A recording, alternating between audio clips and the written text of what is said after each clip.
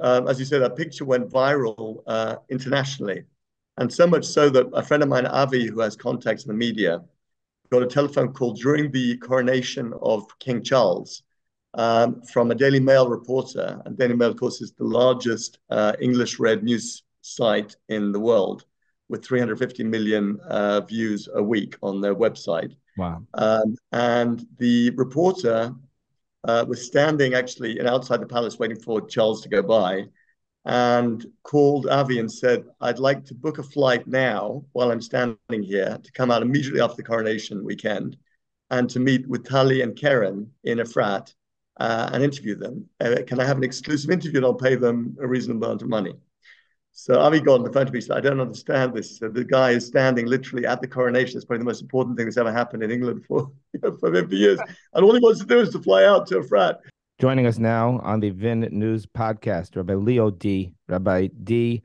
several weeks ago, as everybody probably knows, Rabbi Dee tragically, unspeakably suffered the loss of his wife, of his da- da- two, two of his daughters, Hashem Yinkom Damam. Rabbi Dee, thank you for joining us. I really hope this will be a positive experience. I, I I, I don't have any words to say. I, am so sorry about your loss, and I wish there was some more I could say to mitigate, you know, what you're going through. But but I want to thank you for being here.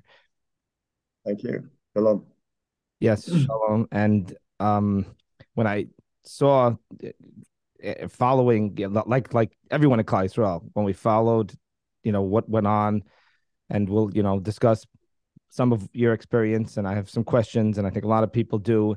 I, I, I right away saw, you know, there were videos that emerged about you, of, of you, uh, doing Hespedim, uh, at, at, at your Shiva. And the, the, the, I saw this, this somebody who you, you, it was just mind boggling to me how number one, it seemed that you were coping in a way that I'm sure was not easy, but, but I saw that you somehow managed to use this experience and you obviously uh, you know you're still going through this and and almost all of us in some way in some extended way are, are, I feel like we're going through it with you I think. But um I saw that you know you were using it to to reach out to people. You were using it to somehow send positive messages to somehow bring people together so I want to ask you a lot, a lot of details but uh, you know what what would be your response to that um, interesting. I was asked to speak about Geula yesterday at um, the Great Synagogue in Jerusalem.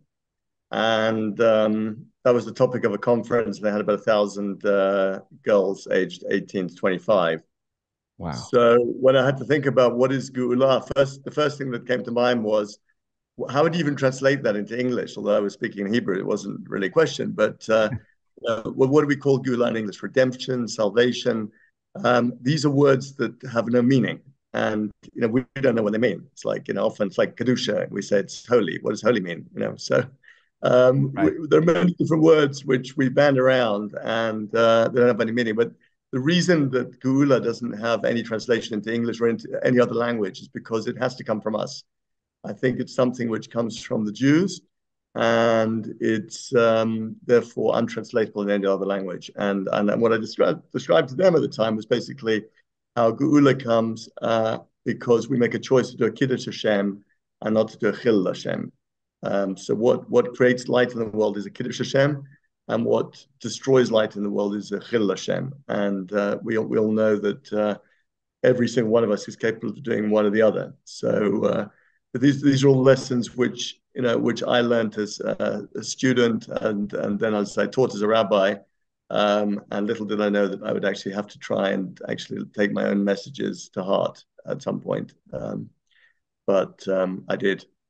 That's incredible. Yeah. But uh, like you say, the ability to, it's one thing when it's in theory, it's one thing when it's something that's being taught, but then yeah, to be able to uh, apply it in any in any capacity, but but certainly in one as trying as this. Um, along those lines, when you talk about Kiddush Hashem, Chillul Hashem, I, I, think one of the things that captured all of our attention was this incredible.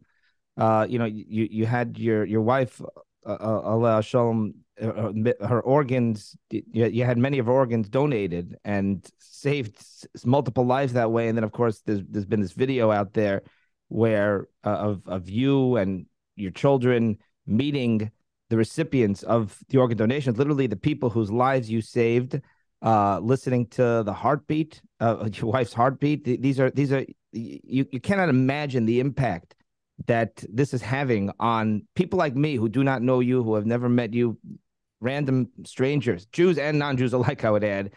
Um, can you describe what that's like? And am I correct that one of the recipients um, it was not was not even Jewish, was was an Arab, and you you you I believe I saw that you met with that person several weeks ago.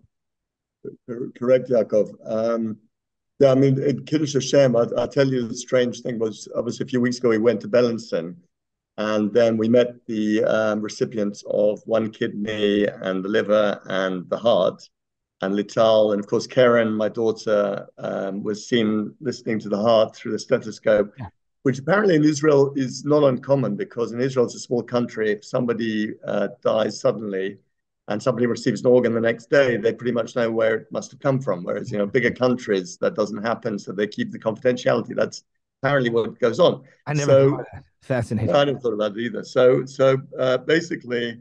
Uh, in Israel, um, they do this often, uh, just don't tend to do it in front of a worldwide audience. So, um, as you said, that picture went viral uh, internationally. And so much so that a friend of mine, Avi, who has contacts in the media, got a telephone call during the coronation of King Charles um, from a Daily Mail reporter. And Daily Mail, of course, is the largest uh, English read news site in the world with 350 million uh, views a week on their website. Wow. Um, and the reporter uh, was standing actually outside the palace waiting for Charles to go by and called Avi and said, I'd like to book a flight now while I'm standing here to come out immediately after the coronation weekend and to meet with Tali and Karen in Efrat uh, and interview them. Uh, can I have an exclusive interview and I'll pay them a reasonable amount of money? So Avi got on the phone to me said, I don't understand this. So the guy is standing literally at the coronation. It's probably the most important thing that's ever happened in England for, for 50 years. And all he wants to do is to fly out to Efrat. Um, so they did. So we booked a time. It was actually like my own. Uh, so the girls had been up late the night before with their friends. So booked at 12 o'clock on the Tuesday. And uh, out came these guys, presumably the night before, before the, the journalist and the and the cameraman. Um, and they were sitting with Avi was there very kindly sitting with them um, in the lounge, and I came in about half an hour later just to see they were okay. And I offered them a, a, a drink and a, and a cake, and they said, "No, no, no, go away. Don't worry, we're, we're busy." So they had no interest in speaking to me, which is great. they were speaking to my daughters. They only the question they wanted to ask was, "What did you feel when you heard the heart?" And and, and it was such it, it was such a kiddush Hashem that that these you know, English journalists came out from England where they have 30 times the number of, of transplants every year that they do in this country because it's a bigger country and there's a much larger number of people who give uh, organs. But they had to come from England to um, uh, right. in Efrat, right, the way, what they call the West Bank, what we call Judea and, Sh- and Shomron, right. um, in order to um, interview my daughters about this. And then it went viral on, on their website and I said to I said to Karen, I said, your tears have saved thousands of lives. I mean, literally thousands of lives because you know people have seen this. Anyway, so I was inspired by that, and um, I called up a friend of mine, um, Paul. Uh, Paul, I'll just call him Paul, uh, who is a BBC uh, reporter. Who basically the two of us were very friendly 30 years ago, but then we sort of were out of touch a bit. He's a religious Jew, but also a BBC reporter, and he writes for the Mirror newspaper, which is like the New York Times. Sure. So it's not very pro-Israel, not very pro-Jewish. Um, and I said to him, "Look, I'm, i want I want somebody to come with me I can trust to do the story. Um, I'm going to meet the guy, um, the Arab Israeli in the north of Israel, who received the other kidney. Uh, will you please come?" So uh, this was Friday morning. Um, he said, "Well, I can't fly to Israel, so I um, will have to." Um, he said, "I'll have to fly to Cyprus, and then I'll come Motsash Motzei Shabbat, I'll come uh, come over. So he did. The Monday, two o'clock, we arranged to go up to um, to see this uh, fellow um, Abu Radia. We, it's not his complete name. His actual name is is, but his young oldest son is called Radia, so we call him Abu Radia. Um, he, he was a little bit, or he, he had a um, a Hamas minder. Let's put it this way, a Hamas minder called Mahmoud, who was the guy I was put in touch with, and he, he said to me initially. Yeah, I mean, no, the guy the guy received the kidneys, lovely fellow, but um, he would, but the hospital, actually the Jewish hospital, was very cautious about putting him in the media. They didn't want him to be in the media because they felt that it would put his life at risk from Hamas. Oh wow! Any any good news wow. between Arabs and Jews is is immediately a topic of controversy in uh, the Palestinian Authority. They, are very much unbelievable. Yeah, yeah. It was uh, so. I got this kind of. I got Friday morning, just before I called Paul to come out. I got this call from Mahmoud saying I don't think it's a good idea if you'd come out while the Gaza operation is happening. Uh, maybe in one month's time. And I'm thinking to myself, what is the connection between Gaza and my wife's kidney right. and this guy? So I said to him, I said, Mahmoud, I tell you what, I said, I happen to be in um, the area anyway on Monday at two o'clock. The only time I had my diary and I had Paul coming out. Uh, well, I planned to have him coming out. So I said, I'm coming anyway. I'll knock on his door. If he's there, he's there. So Mahmoud said, wait about it. He says, Sunday night, I'll call you and I'll tell you how he's feeling. Sunday night, of course, he calls me. He says, uh, he's feeling very, very bad. You really should not come. He said he's very, very ill and maybe come in three weeks' time. I said, I said, I tell you what, Mahmoud, I said, I'm up here anyway. Uh, I will, I will, I will knock on his door. And we knocked on his door. He opened the door. Actually, we came an hour late. So I don't know if Mahmoud was waiting at two o'clock, but anyway, three o'clock, uh, we turned up an hour late and we knocked on the door and op- uh, opens it, this lovely fellow with a bandage around his stomach, gives him a massive hug. I give him a gift uh, which is a, in Hebrew and Arabic saying, You are my blessing or my, my miracle. And he gives me a gift, which uh, actually had an interesting quote in it. It said that somebody who saves one life um, is as if they saved the whole, whole world. Somebody who, who takes one life is as if they took the whole world. So, so I thought, how does this guy, who's you know, nice carpenter, he hadn't been able to work as a carpenter for five years because he'd been on dialysis for four days a week, and now after the kidney transplant, he was able to go back to work and and uh, and resume. Um, but how did he know how to quote from the Mishnah in Sanhedrin? Because actually, it was a very, very clever uh, Mishnah quote. And I thought, so how does this this regular Arab guy know, you know, such a Talmid Chacham, such a great rabbi? So it was only later that day. So so afterwards, we went to Haifa because I have some friends, some Arab friends in Haifa, and Paul wanted to meet them. We went to the mosque in Haifa, and I'm friendly with the imam there. And um, and I asked my friend uh, uh, Mohammed Sharif, who's the imam in uh, in Haifa, I said, how would this guy have known how to quote from the Mishnah in Sanhedrin? He's, and, and I quoted him. He said, wait, wait. He broke out a copy of the Quran in English with, with English translation. He showed me a verse in the Quran that was a direct quote from the Mishnah in Sanhedrin. That's, and, and then he showed me a direct quote in the Quran from a Gemara that was in Anabrachot. And if you think about it, the Quran was written, apparently was the scribes were Jewish, the earlier scribes of the Quran were Jewish. And they were selected by Muhammad because they were the literate, most literate people. And it was written after the finishing of the Talmud, basically. So the Mishnah and the, obviously Torah and the Tanakh was all available. Right. So there are quotes in it. And then you showed me other verses which talk about the uh, Kibbutz Galuyot, the incoming of the exiles of the Jewish people to Israel uh, at the time of the Mashiach. And things like that. So all, all these all these things That's appear it. in the Quran and, and this this friend of mine, by the way, is, is a tremendous, tremendous man. I mean, his his community are lovely. Uh, they are partners for peace, and together we're working together on, on, on trying to create something that could bring everyone here together. And wow, wow, and that is the part of this. I mean, that is fascinating on so many levels. But the part of your story that I keep seeing, like I said, just from afar, uh, from a long distance, the, the the level of Kiddush Hashem, number one, how you care about not only Jews and not only about Klal Yisrael, how deeply you care about Eretz Yisrael, about about Jews and about non-Jews alike.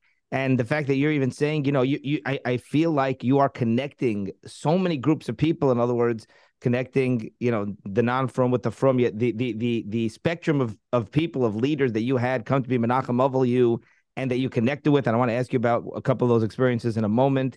I'll, let me, I'll, tell, I'll, I'll, I'll tell you, so we, we went, I, I, actually had Yehuda, my son, in the car with me um, on the way up to the north of Israel because it was his, it was his daddy time. And uh, we were going to go to the pool, but instead I said, come with me for this journey. So, so my friend Paul took his car behind us because I wanted to have this private time with my son. So we had, that was our connection time. Um, so he came with me. So we, we had to pop in, and we got to Haifa just in time to daven Mincha um, in the local shul. Then we popped over to um, Muhammad's uh, um, um, mosque, which is the most beautiful building I've ever been in, in my life. That's the most beautiful. I mean, anyone visiting Haifa should go and visit this, the Ahmadi Mosque in wow. Haifa. It, it's absolutely incredible. It's just full of light. And, and um, so he invited us. They were they were davening a Ne'ilah. I, I call it Ne'ilah, which is the fourth service of the day after Mincha. And uh, they invited us into the mosque. So Yehuda and I sitting on chairs. They're all bowing down, saying Allah Akbar. And at the end of that, uh, Muhammad says to me, "Okay, now I want you to come and give a Dvar Torah." Um, they all speak Hebrew, so I spoke in Hebrew. And I gave a 10-minute Dvar Torah to his uh, 50 uh, congregants there. And I talked about Emet. And I said that, you know, your leader, Muhammad, is a man of Emet. Emet is um, truth. And it means, and it's written in Hebrew from Aleph to Taf with Mem in the middle. That's right. how it's written. So there's a famous drasha in the, in the, in the Talmud that says that Emet, uh, also from M to Met, from mother to death. So it's basically truth is when you see the whole picture. And um, Sheker, it's the opposite. Um, well, it's not really the opposite, it's a lie. But Shin and Resh, three letters that come together at the end of the alphabet. So they're stuck together. So in other words, if you focus on one thing uh, and you basically are polarized in your in your outlook, then it's basically that's a lie. If you are able to stand up and look at the whole picture, then you can see the truth. I, I, said that yeah, his leader um, can see the truth because we were talking about a lot of different things and we agree on so many different things. But um, the truth um, is more complex than the sheker and the lie. So that's why people struggle with it in our generation. Uh, they spend too much time playing Minecraft, Facebook, etc.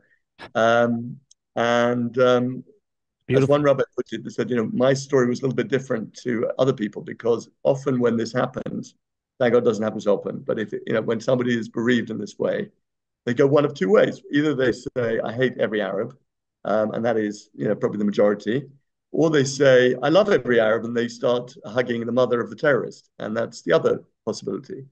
But I stood up apparently and, and made distinction. I said, I love the Palestinian Arabs, you know, who are good people. And frankly, the ones who are their leaders and the terrorists, they need to be neutralized and, uh, uh, you know, basically cancelled. Um, so it's, it's a message of shalom, but not of peace. Why, why do I say that? So peace is um, like a mosaic. Every piece is exactly the same uh, shape, and you put together creates a nice picture. But every piece has to actually fit. It has to be cut up into the exact square. Right. Um, and I say shalom is like a jigsaw puzzle. That every piece is completely different, and they fit together in a unique way. Um, and that is our idea of shalom. And um, you know, shalom is a bit more complex than peace because uh, peace, you could say, I love everybody, I hate everybody, whatever. Generally, I love everybody. Um, shalom, though, you know, is um, you need these complicated pieces to come together. And as, as anyone who's done a jigsaw puzzle knows, if the table uh, cloth isn't uh, completely flat, it doesn't work. So the terrorists um, and the evil people are a little bit like the sort of the uh, wavy tablecloth.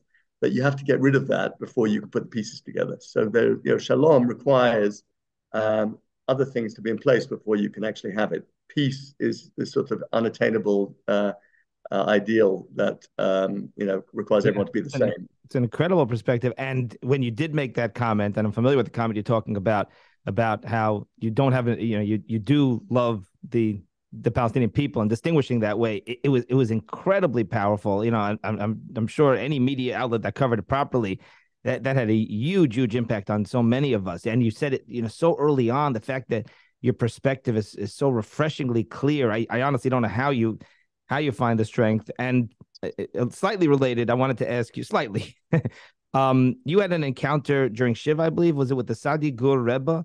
And um, and you asked him, am I correct? Correct me if I'm wrong. You asked him maybe why he doesn't say Hallel uh, on certain on, on, on certain holidays. Uh, Yom Ha'atzmaut. Him on Yom Ha'atzmaut, was that it?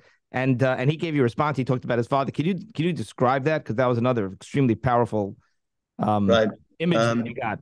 I, I, don't, I don't remember the whole story. Maybe you remember better than I do. But I, I think a lot of the Haredim who came to the Shiva tent, I said, and it was coming up to Yom Ha'atzmaut, so I said, you know, will you say Hallel on Yom Ha'atzmaut? And they answered Tehillim.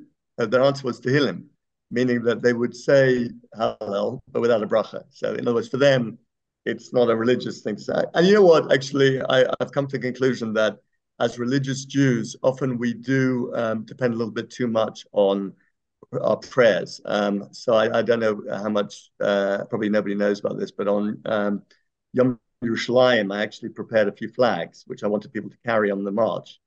and um, the, the 30,000 of them actually, and uh, wow. at quite great expense. But uh, they said on them, uh, uh, free the Palestinian people from the evil regime, free the Gazan people from the evil regime, free the Syrians from their terror state, and free the, the Iranians from their terror state. And they were in English, Hebrew, Arabic, and the Persian one was in Persian. Um, and um, I was trying to convince uh, religious Jews to carry them on Yom Yerushalayim March. And it was a very difficult uh, conversation, actually. I thought it wouldn't be that difficult to, get convince Jews to, to carry these things, to, to support uh, good Arabs to over, override, overrun their uh, evil regimes. But they, they um, you know, they, they said, what, what's this got to do with Jerusalem? I said, well, Jerusalem is about shalom, it's about peace and peace means we actually have to do something. And I think right. that religious Jews often feel that since we pray for peace, you know, three times a day, and since the Kaddish ends with peace, and since the Birkat uh, the blessing of the priest ends with peace, and since the blessing of Birkat Hamazon ends with peace, and since we say the word Shalom, you know, a hundred times a day in our in our in our prayers, that we sort of, you know, that, that's we, we we've actually we would say we've uh, fulfilled our our requirement, um, and I think that um, actually these Haredim who don't say uh, Hallel with a bracha, without a bracha, you know, if they were doing something else towards peace, I, I wouldn't uh, have a criticism of that. Maybe they are. So uh, I'm just, you know, so my, my attitude has changed quite quite dramatically about this because I feel that uh, you look at the early Zionists, they were actually not religious, uh, and that's a fact. Right. So us us religious Jews, you know, have a lot to learn from some of the uh, the not yet religious Jews, um, or, or Jews who are religious in different ways. You know, Jews who don't eat kosher and keep Shabbat, but they love the land uh, to extent that we can't understand. So, you know, we, we got Parshat Shalach this week, and, um, you know, and Hashem says, Shalach lecha, uh, you know, send for yourself these, uh, these uh, spies to Moses. And he chooses these guys, and 10 of them, as we know, they don't love the land enough um, and the rabbis explained in the Midrash that they just wanted to study Torah and live on Hashem's blessings uh, with free handouts for food and free handouts for yeshivas and free handouts for everything else. And um, and it was Yeshua and Caleb who actually were the two who said, Let, let's let's go in and let's do it. And um, yep, so so uh, we, we see that there are some people who love the land and fulfill that mitzvah. And it turns out, yeah, because of that, we, we were punished with the biggest punishment ever of 40 years in the desert. Everybody who'd come out of Egypt had to die before the next generation could go in. Wow.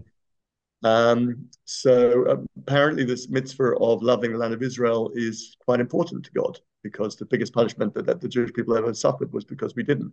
Wow. So you know, interesting that uh, you know we don't see life in that way. That uh, we've got uh, millions of what we would call secular Jews who might be more religious than many of us. Wow, wow, fascinating. I, I and just to clarify, how did your your attitude changed? You're saying in, in specifically, to clarify that how your attitude changed? Well, I, I, yeah, because I thought it would be easy to explain the idea of peace um, to religious Jews, and in fact, um, one of the things I was doing the week before um, Yom Yerushalayim, the, the Jerusalem Day March, was going to speak to every minister in the government and every uh, senior rabbi um, in the country uh, in order to, to ask them to close the the uh, which is the entrance into the Muslim quarter, because every year there is um, a, a, huge Chillul Hashem, uh, a desecration of God's name, whatever that means in English, and um, whereby um, a bunch of yeshiva boys, 16 year olds, dance around the streets singing Death to the Arabs. And you know, while they might think that's funny, um, what CNN does with it and other world uh, media is they cut that and they cut pictures of terrorists uh, shouting in the streets of Ramallah, Death to the Jews. And they say, look, these people are saying this and these people are saying this. So therefore, they're obviously exactly the same. And what that leads to is next year, more terrorists being emboldened to go and commit their atrocities because they're saying, well, basically they hate us, we hate them. And uh, but the fact of the matter was, it was literally 20 yeshiva boys, and there were 100,000 people who were absolutely, you know, behaving well. The corollary to the story, by the way, is that um, I was very uh, honored uh, about a week ago. Um, the head of from the Ministry of Education, Israel, who's in charge of all the religious yeshivas and ulpanot, so boy and girl yeshivas, uh, schools, high schools um, in Israel, um, he came and, and, he said, "I'm in charge of 450 of these um, of these institutions, and here's a book of 40 projects that have been kicked off in the name of Lucy, Maia, and Rina." And he, you know, and there was literally 10, he was there for 10 minutes. He said, I just wanted to show you this. So I said to him, let's make a little film.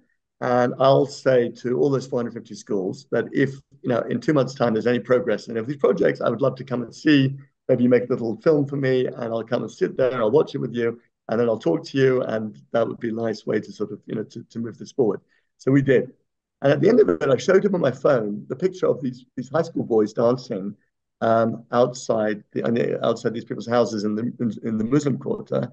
And I said to uh, I said to him, I said, um, Boaz, I said, are these boys in one of your 450 schools? So he said, yes. I said, do you think you could identify them? He said, yes. I said, well, um, can I ask a favor? He said, okay. I said, can you identify them? Can you sum them up in front of Rabbi Eliyahu, um, Shmuel Eliyahu or Rabbi Lau, chief rabbi? Yeah. And ask the rabbi to give them a very severe uh, telling off, um, a, a one hour uh, lesson about Chillul Hashem, about what it means to desecrate Hashem's name, and then give them a project to clean up the Muslim quarter for a day or whatever other project is relevant in the Muslim quarter. And can you also capture it on camera? And maybe we'll send it out to the TV stations and maybe we'll also distribute it to the 450 schools. He said, I'll do that. So uh, he's working on it at the moment. And if that happens, then maybe even if we have the doors open to the Muslim quarter next year, we'll see that CNN will be disappointed when they try and make that story up. Amazing, amazing. Your your perspective, you know, like you said, your way to balance, you know, the the the good and to constantly, constantly be trying to inspire people to do the good and to avoid. I it's just it, I cannot describe how inspiring it is to, you know, to to see your perspective and how you're you're you're you're searching and trying to influence other people and. it's just it's just really amazing. I, I do want to ask you. I must ask you because you mentioned CNN. I was going to ask you about it anyway. Uh, it is well known uh, that you know the the disgraceful way that uh, this Christiane Amanpour, uh, what she described, she described the this horrific, horrific, unspeakable terrorist attack as a shootout, and then you know she th- there was no apology, no retraction until probably they were afraid of a lawsuit. I know that she reached out to you in an email weeks later and uh, issued some kind of apology, which you did not do publicly. Then you responded, and then even her public apology, you know, she never really clarified. You know, I think a lot of people felt it was very, very weak. Um, how do you feel about that in general? There is talk about you possibly filing a lawsuit. I know Alan Dershowitz and Ben Brafman both offered to represent you, and it, it really is so, so, so unspeakable. It's just so egregious, disgraceful. Uh, that kind of treatment. So tell us about that. Yeah, I'm, look, my aim here is to change CNN, not to make a lot of money for myself. And if we do uh, actually sue them, the money will go to my Shalom Fund, which I'm hoping to set up, which will have projects for Shalom and, and not not for peace, by the way, but for Shalom. Um, and um, yeah, and um, to be honest, what she said was terribly upsetting, and of course we were we were desperately upset by it as a family. However, uh, what the interview I had previously with Christina McFarlane uh, which nobody mentions, I think it was on the 20th of April, uh, was far worse for me. Um, and the way she ended it, where she said, Thank you, Rabbi Dee. And after the break, we're going to go to speak to a Palestinian who's in exactly the same situation right. as Rabbi Dee. I saw that. And that would, to me, was such an insult. It's like, uh, who is this Jewish terrorist who just massacred three Palestinians at close range with a Kalashnikov and 20 bullets?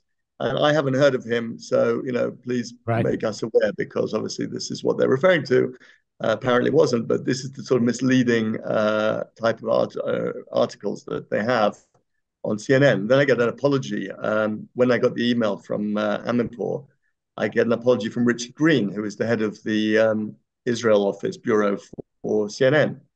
And in in this conversation, I said to him, "All right," I said, "So are you basically equate? Would you say there's a moral equivalence between my suffering and the suffering of the mother of the terrorist who was neutralized by the uh, Israeli uh, military in a moral way in order to stop other people from being murdered by him. And he said, um, with great respect, um, we have to differ on this, Rabbi Dee. Meaning, I I uh, I, I, don't differentiate, and uh, I found that you know um, uh, uh, so inhuman, inhuman, that you know it says everything you need to know about about CNN and what their aims are. So that's why I wrote an article. I don't know if you if you saw it didn't see it, you could maybe Google it on uh, Jerusalem Post this Friday. Um, it was an open letter to David Zaslav. And in the letter, I talk about the fact that he's now the CEO of Warner um, as well as CNN. Right.